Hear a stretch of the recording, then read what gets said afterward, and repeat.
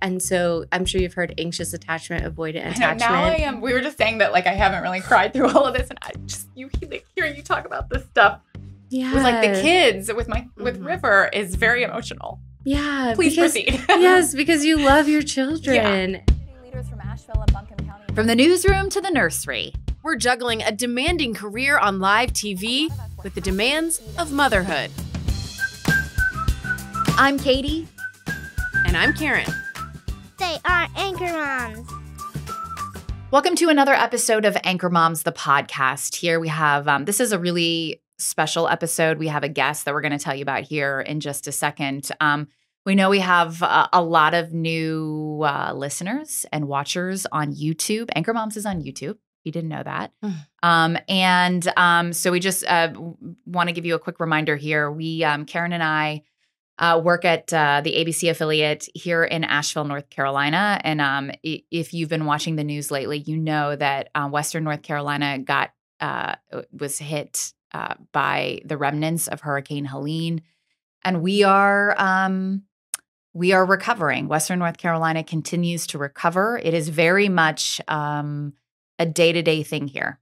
Yeah, I think that um, for folks who are not here, it's hard to understand just how far reaching this natural disaster has been for us. Um, I think as as it happens, and we know better than anyone because we work in news.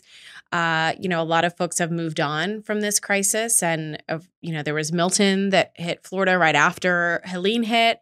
Um, but you know, for the families here, life is still incredibly far from normal. Um, schools are still not in session, many of them.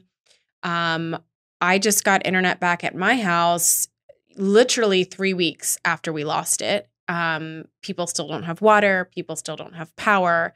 Um, and the amount of devastation that we are still seeing and learning about, the death toll continues to rise. Yeah, people are still missing. Mhm. There's still people who are looking for their uh, their friends and family, and that's an ongoing yeah. ongoing thing here um, ac- across Western North Carolina. So It's, it's a lot. It's, It's a a lot. Um, and so one of the reasons that we wanted to bring on a guest this week is because, as you can imagine, you know, this is a podcast where we talk about all things working mom. And right now, uh, whether you're a working mom or any mom or any person really in Asheville, um, you are trying to um, process all that's happened, deal with this incredible loss that our community has suffered. Um, and for folks with kids, of course, having those difficult conversations with their children. Um, I know my children have been struggling. I know River has had some tough times too. Of course, River is a whole nother level because you all lost your house and um, had have uh, that going on as well. So um, there's just a lot that we're trying to work through with our children, and so we wanted to bring on a, a therapist who could kind of help us figure out how to proceed during all this. You know, the other thing that's becoming abundantly clear is that um I mean, this is not just weeks or months. This is going to be a very long process. Asheville will never look the same. Many communities in Western North Carolina will never look the same. And um, it, how do we deal with all this? How do we talk to our children about all this as we are stressed, overwhelmed, emotional, trying to deal with all of this ourselves as adults? So we invited in uh, Suzy Lynch. Uh, she's a counselor at Asheville Family Counseling, and honestly, she has um, such helpful things to say. So listen in.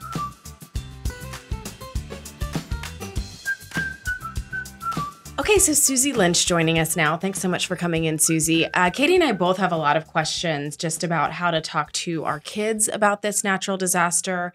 Um, and I think a lot of other parents are kind of in a similar boat. Um, one thing I think, just in general, you know, my kids range from two years old to nine years old. Mm. And I guess I'm a little bit struggling with is there um, should I be shielding some things from the younger kids and maybe explaining more to the older kids? Are there certain age um, ranges where we should be sharing more about um, the really difficult things to talk about, the deaths that have happened in this storm? Mhm. Um, what is your guidance on that? Yeah, I think when I think about children in general, they catch on, right? They know what's happening, they know something's going on. And so providing them with some information is really important um, because otherwise they're going to feel even more scared, like something's happening and I don't know what's happening. Um, I think, you know, it it is dependent on the child. If they if they recognize, oh, people have died, or they ask you that, like you want to encourage them to ask as many questions as they want. Um, and then be careful about not going into the gory details, right? Like, yeah, natural disasters happen, they're out of our control. Um, but you know, there are things we can do to prepare or, you know, whatever it is. Um, and so making sure that they feel informed because a lot of time times information feels safe, right?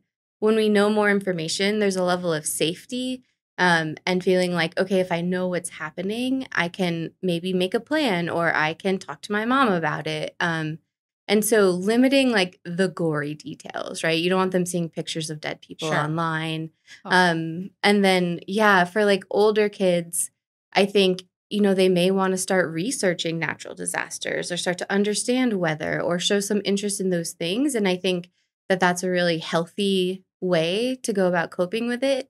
Just making sure that, again, it's limited, that their whole time isn't involved in looking things up, understanding weather, because that can add to the panic. Mhm. Sometimes we think if I keep checking, if I keep checking the weather, I'll be able to do something about it. It gives us a false sense of control. And so it's really about balance. And I think, yeah, for a two year old, it's really going to be more about like they're going to show up with big feelings that could look like um, behaviors they haven't engaged in in a while. Um, and so for them, it's really about um, like secure attachment.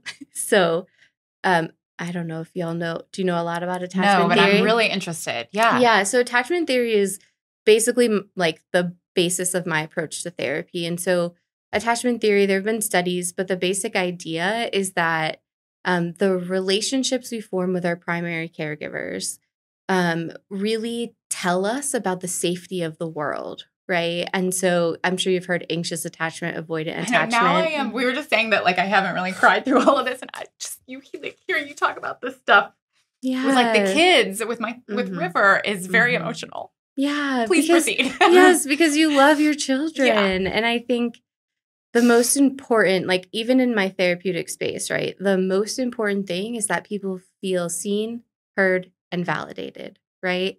And so secure attachment can heal so many other things. It can make us feel safe, it can make us feel confident, it can make us feel like, you know, we we have backup. We have people around us. Um and the thing that I think people was really important to know about attachment theory is this concept called attunement. And so, say I'm a kid and I'm crying, um, and what I need is for my mom to like just sit with me in the darkness, sit with me through it, be my partner, like just be there. And I think it's human nature to want to fix, to change. Um, and so, really just being there in the feelings, not trying to downplay it, make it go away, but rather be like, yeah, like mom is scared too. Yeah. That was really scary. And I'm like, you know, your parents will always be here to help keep you safe in that. Um, and so allowing them, just like you're allowing yourselves right now, and demonstrating to them, right? Crying is okay. This was hard. And we have the skills and tools we need kind of that balance between this is scary and also um, there are things within our control that we can do.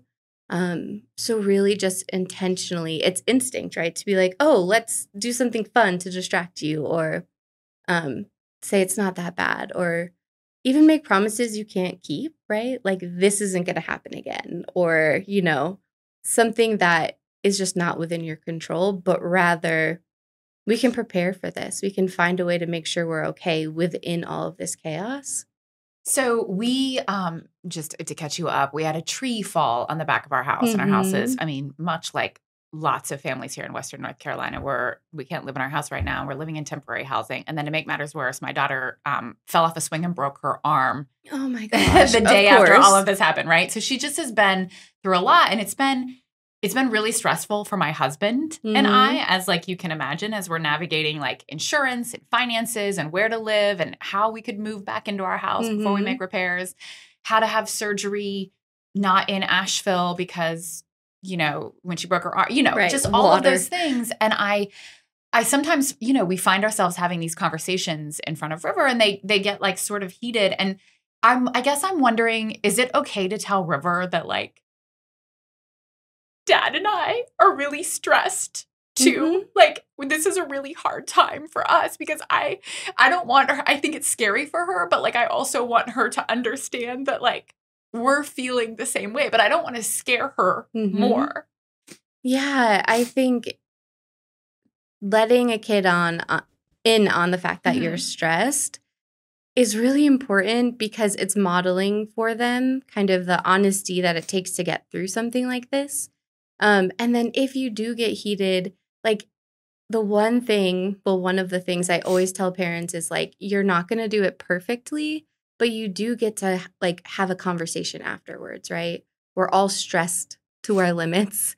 We're in survival mode that makes us more irritable and and like emotional, right? And so talking about it, not just letting it happen and then being like ignoring it, right? Right. but you want to be like, "Hey, like mom really just lost it right there. I'm really stressed too, but I want to let you know that like I'm sorry for like, you know, talking to you that way or Losing my scaring you." cool. Yeah. raising my voice. Yeah. because it's really about that attachment. When we know that adults can make mistakes too, that gives us the ability to make mistakes and also repair. You'll have your kids being like, you know, sorry, mom, I was really mad and I yelled at you. Yeah. Um, so I think it is really important to let them know that you're feeling it too, because when we grow up in homes where everyone pretends everything is fine, but we feel in our body that something isn't right, that leads us to gaslight ourselves in the future, right? I don't trust my body to tell me when an emotion is happening. And so I think it's really important to share that you're stressed while also not. There's this line that I'm sure you have experience with people is like, um, maybe your own parents, but like not um having them be your therapist, which I'm sure y'all don't. But sometimes it's easy when, especially when our kids are older, right, to Mhm. want to lean on them. Um, so the balance between letting them know you're stressed and sad and overwhelmed, while also being like, and we're gonna figure it out, but this is just a period of time that is really hard. you know uh, the other thing is is river does not want to go so we're staying in temporary housing and she does not want to go back of course we go back to our our you know our asheville Mhm. house all the time just because we're trying to do repairs meeting contractors and she is we've had to f- find she has to stay with somebody when we do these visits because she doesn't Mhm. want to go back at some point where she's going to have to go back how do we talk to her about that what do we say Yeah, I think giving her as much time as you can, right, Mhm. to figure it out, and then really getting curious, right? And I don't, how old is she again? she's six six. Yeah, Yeah. six year olds. I mean, children are smarter than we give them credit Mhm. for, you know. Mhm. And so getting curious about like, okay, what what are you afraid of? What Mhm. is scary to you? And like, what can we do to help comfort you in that? Is it bring your favorite stuffy? Is it you know, uh, I don't know, listen to your favorite music while you go. Just something to make sure that you are like planning as much as you can for the things they're most afraid of. Um, and so curiosity and asking questions so that she feels like, okay, I I am in a place where maybe this is okay to do. my one of our kids is a similar age she's almost six um, and she keeps saying please stop talking about the storm the adults just keep talking about the storm Mhm. please stop um, it's scary to me and you know unfortunately we have to Yeah. we have to figure out what we're going to do about school you know all these things and and don't and i don't know if those just need to all happen after she goes to bed I don't know if Mm. that's bad to, like you said, you don't want to just say, oh, la di da, life is normal. Let's talk Mhm. about Halloween. And, you know, but Yeah. I don't know where that balance is.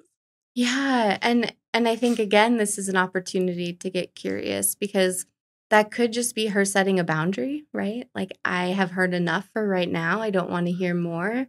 or it could be avoidance, right? Like I don't want to think about this thing that is scary. Um, and so really asking her like what is like what's so what is upsetting? Like what are you feeling in your body? What are the thoughts that are coming up? Um, so you can really understand if this is like healthy boundary or avoidance um, and at the same time all kids are going to respond differently and some are not going to want to talk about it. Um, and so always reminding them that they can that you're here to answer questions that you're here to hear what they're feeling and like they can take their time if they need to um, because for different kids it's going to show up quickly or later you know you never know when that response is going to come. And so i think saying to her you know part of what you said to me which is we really have to talk about it. Like there are some things in life that are really hard and scary but we do have to talk about them. What can we do to help you regulate during this? Or what you know what do you need from us? And so real yeah curiosity with kids they they have intuition they're gonna tell you stuff and you're gonna be like oh like that's really Yeah. wise or like you know yourself really well Mhm. My our two year old literally every single time we walk outside still says, "Is it thundering? Is it safe? Is is it going to Yeah. rain?" And obviously he's little, um, but even those questions, you know. And you mentioned it earlier. I'm so tempted to say the storm is over. It's not going to happen again. That Mhm. is such a big storm that you know it won't happen again. Everything's fine. But to your point, maybe that's promising something that I don't know yeah I can keep up with. Yeah and so he he goes outside and he says is it raining is it thundering Yeah, he's just at like, is it safe? Did I just hear thunder? Mm, is it gonna mhm. rain? You know, he's he's very aware when we're outside that, oh gosh, is is this gonna happen again? Yeah. So something that you can say that is true is that like right now the weather's okay, right? It's not raining, it's not thundering. We're okay right now. Um and then maybe finding some sort of like I don't know, um like little preparedness kit he could have. like a little kid version, right? Like Mhm. okay, well we have your raincoat and your boots or and your favorite Mm. book in the car. So if, in case something does happen, you're prepared. Mhm. Mhm, You're not going to be um, as surprised this Mhm. time. mhm. One of the things that somebody has said to me early on in all of this is that I, th- you know, you have to take care of yourself. You have to put on your oxygen mask before you put on others' oxygen Yeah. mask. Can you just uh, some advice for parents? I know Karen and I are not alone here in Western North Mm-mm. Carolina, parent wise. What is what's just some self care or good advice for parents out there trying to navigate, you know, their kids' emotions, but also their emotions as Mhm. well? Yeah, I mean, you can't fill someone else's cup if yours isn't Mhm. full. And so I know there are so many things that feel urgent, right? Fixing your house, getting in touch with insurance, contacting FEMA, figuring out what's going on with school, and like to take breaks, whether that's with your kids or on your own, and do very simple things that bring you joy, like sit outside and look at the sky for a minute. Um, read a few pages of your favorite book. One thing I love to do is watch comedy specials on TV, right? You it is so important to bring in moments of joy and peace right now. And I know it can feel so weird, right? When it feels like the world is in a mess. How am I is am I allowed to feel joy Mhm. now? Am I allowed to take care of myself? And I would say that that is in fact the most important thing to do um, is to do those things, whether it takes two minutes or an hour, whatever amount of time you have to do something that is caring for yourself. And your kids will see you doing that. And that's modeling, right? How to regulate our emotions, how to take care of ourselves. So it's like a double whammy of goodness, you Mhm. know? Is there any good news here? I mean, obviously, this there's you know it's hard to see a silver lining. Um, is there you know so River started a temporary school this week, and I've been Mhm. really impressed at how resilient she's been. Mhm. Yesterday, she came home. She has her cast signed by you know her old classmates, her normal classmates, Yeah. but like the kids in the other first grade and that first grade that she was joined by. And it's Mhm. interesting. I don't know. Maybe kids are better at this than adults. Like, is can we say that this is going to in the future maybe build some resiliency in our kids they're going to look back Mhm. at this and be like i can do hard things because i did i did all of this Yeah.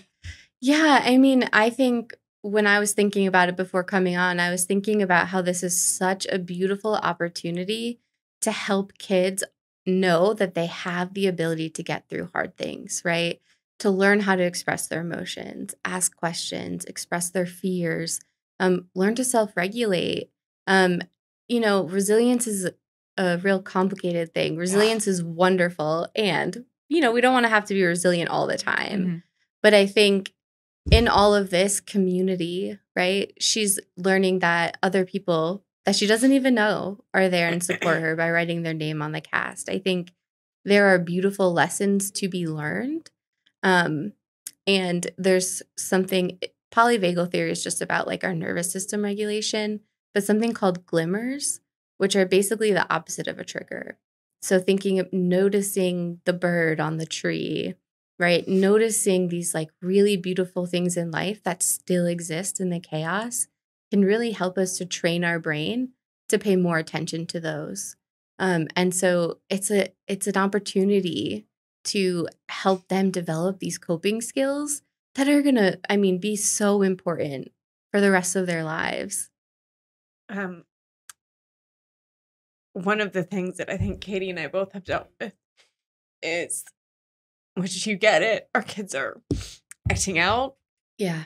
Um, and, you know, especially in my house, I mean, we have four kids and it's very crazy. and um, I think my husband and I are both like, oh my goodness, like everyone is behaving so terribly. And, you know, you want to say, look, we've been through this big thing. Like, we get it. But you also don't want to just let them kill each other. right. Yeah. Um, so I don't know any guidance on how to manage those tantrums and big emotions while also Mhm. making sure that there are some boundaries in the house. Yeah. Yeah. And first, I'm just going to say you're not going to do it perfectly, and that's okay because you're going to lose your temper. They're going to lose their temper. Like, we are in a high stress situation, and kids being at home all day, maybe starting to go back to do activities, um, it's just going to be hard. Um, I think, you know, one thing that comes to mind and I talk to parents about a lot is um there's the behavior, but then there's like the emotion or the need or like the skill that's missing underneath, right? So a lot of times when kids get really angry or like fight, there's a need that they have that isn't getting met. And so maybe not in those exact moments, right? But afterwards, when everyone's more regulated, kind of talk to them about what happened for them in that moment, right? What happened right before? What did it feel like in your body? Um, and is there something you need? Um, because I think the behavior is like what alerts us to a need or to a skill that's missing, right? I felt really activated and I didn't know how to let it out. So I yelled at my brother. Well, let's try some like calming skills or coping techniques. Um, and they're going to fight. you know, like I wish I could prevent it, but I think that giving yourself grace, giving yourself the like allowing yourself not to perfectly do it, but rather again come back around and talk about it with them. Um yeah, but I I can understand like if parents are getting overstimulated, which I know I would, allowing yourself to also take a pause, take space. Um because sometimes when there's this activation happening, almost what needs to be done is everyone needs to kind of go to their own space to Mhm. regulate. Um yeah, and it's it's hard. I can't imagine having four kids in my house who are stir who are stir Right. crazy. Yeah. Well, I mean, uh, for sure, any parent right now is just craving that schedule and the routine that I think all children are wanting to just get back to normal, quote unquote. Mhm. Um, another question I had is, you know, on our drive that we make, um, is through an area that was really badly hit, and Mhm. um, you know, they see that, and and part of me is, uh, should I be going a different way? Should I sh- like, you know, seeing Mm. this? uh, I mean, both of our neighborhoods still just have.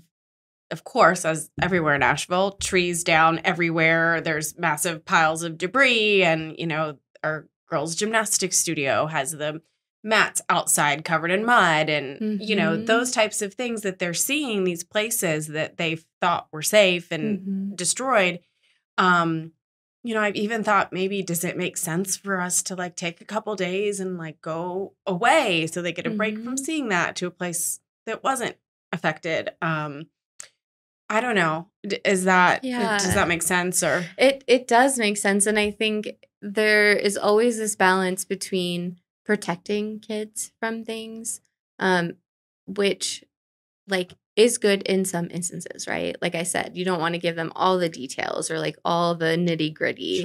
Um, but also, if we protect kids from everything, they're not going to know how to cope and regulate and like take care of themselves and get through hard things. And so, I think changing the way you drive, if one of your kids asks you to, maybe get curious with them. Um, and it's so kid dependent. Um, but I think getting away, taking a weekend somewhere, giving them some normalcy or some sense of like, okay, we're not stressed all the time is a great idea if you can do it. Um, if you can't, you know, do things like have a pajama party in a fort in your living room, you know, just things to um, connect as a family, spend intentional time together because human connection and like security in that these people have your back and they care about you is really a big part of what helps us get through hard things, especially when we have no control. Is there anything you wanted to add that we haven't asked you about? Hmm. I think one thing that comes up for me is just making a plan with your kids if you didn't have one, right? And it doesn't have to be this elaborate, like, you know, um, 1200 step plan, but rather like, okay, like if if this happens again, you have your little go bag or like your bag with like things that you need in case we do have to leave. Um, having some amount of um what's the word I'm looking for? Like uh agency. Mm-hmm. Agency over what what happens next could be really helpful and the other thing is just like you are doing the very best that you can and our best looks different at different times. Like you are in survival mode and maybe some of your own past trauma, some of your own stuff is coming up and so like our best right now is going to look a lot different than it did before the storm. Um, and so really just having grace and compassion for yourselves. This is this is so hard. We're experiencing a collective grief and thinking about, like you said, the gym mats outside of the gym uh, the gymnastics place, right? Um, they're grieving not being able to go to gymnastics. Like there's so many things to grieve that we often don't talk about yes, we grieve loved, loved ones who pass, but we also grieve the loss of a safe space. We grieve the loss of a routine. We grieve the not being able to see our best friend every day, something like that. And so, um, yeah, just acknowledging grief. It is a thing we avoid in our society because it it's hard. But grief teaches us so much. Um, and so really talk about grief and maybe come up with rituals or something that can really help kids embrace like grief is a part of life. It's hard. It's going to hit me when I don't don't even expect it and it's important and I can get through it. I feel like we might need you on speed dial from Okay. here on out. Yes, Um, so much good advice. And here, Katie and I have just been crying through this whole thing, but you've been so wonderful to answer all of our questions. And I think that this is what so many parents here Yeah. are struggling with, right? We want to make sure our children are okay. Mhm. And it's just hard to see, see the way out, I guess. Yeah. And okay can mean different things, right? I know my parents always say, like, well, are you happy? And sometimes that's true, right? But I can be okay and be having a really hard time, right? And so, okay doesn't mean all behaviors are on point and they're, you know, they're showing up in ways that they could outside of the tragedy, but more like they feel safe and secure mm-hmm. with the people around them or in their ability to handle a big emotion. Yeah.